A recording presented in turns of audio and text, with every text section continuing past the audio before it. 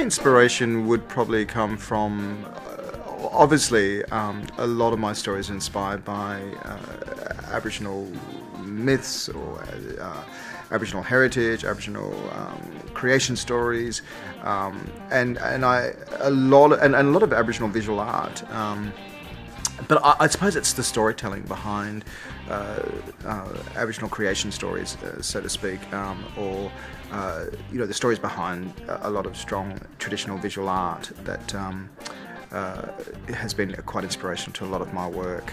Uh, and it's not just about traditional Aboriginal uh, mythology or, or, stories, it's also about the current stories about uh, Indigenous issues in the 21st century that also stimulate uh, a lot of my storytelling uh, through dance theatre.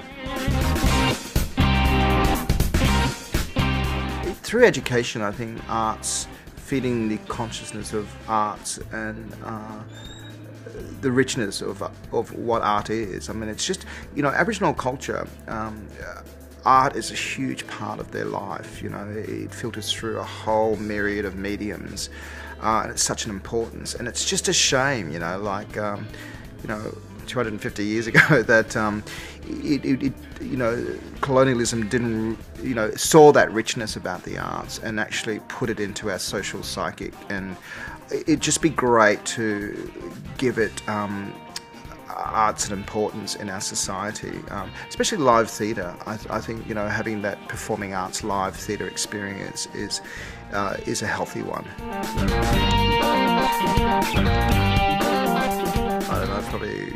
John Travolta and Saturday Night Fever. That's always a good one. I think um, yeah, it's pretty pretty smooth some of those moves. I come from a big family, family of 12 kids. Uh, you know, there was always uh, performance in our house. There was always song. There was always music. I got six older sisters who were really instrumental in, in, in um, introducing us to great music, great pop music. Um, and, you know, we always would gather and have, um, you know, a lot of gatherings with cousins coming down and lots of storytelling. So I think it was inevitable that um, I was going to end up in the performing arts. Um, it was just really a lot of homegrown sort of experiences.